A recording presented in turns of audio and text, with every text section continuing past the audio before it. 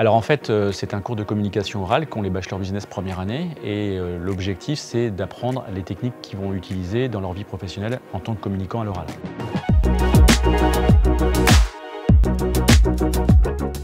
Donc pour valider le cours, ils ont en fait des exposés à faire euh, par groupe de deux ou trois sur euh, un personnage célèbre. Ces exposés durent six minutes et moi je mets ma note d'évaluation. Sauf que depuis quelques années, j'ai souhaité absolument rajouter euh, un peu de ludopédagogie et un peu de challenge. Donc j'ai créé il y a dix ans le Public Speaking Challenge dont l'objectif en fait c'est de récompenser les meilleurs orateurs de la promotion.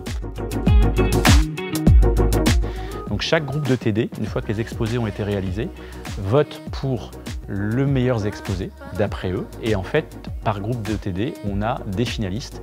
Et aujourd'hui, on vient de faire la grande finale où les finalistes des quatre groupes de TD ont refait leurs prestations, leur refait leurs exposés devant un grand jury composé et d'académiques et de professionnels. Et ils ont désigné les meilleurs orateurs de la promotion Bachelor Business première année 2023-2024. Je m'appelle Louis Schunk, j'ai 18 ans, je viens d'Auvergne-Rhône-Alpes et aujourd'hui je viens de gagner le Public Speaking Challenge avec mes deux coéquipiers du TD3, Alexandre et Alexis. Avec notre groupe, nous avons travaillé sur le sujet de Horst Brandstatter, qui est reconnu pour la création des Playmobil. On a essayé de faire revenir les gens en enfance et leur faire rappeler des souvenirs à travers le jouet. Alors ça a été une super expérience dans un bel amphithéâtre avec un public euh, qui a été euh, super attentif. Euh, c'est une expérience inoubliable je pense dans notre carrière. Ça a été vraiment super sympa avec beaucoup de satisfaction quand on a réussi à le faire. Et un peu de pression quand même je pense pour tous les élèves qui sont passés.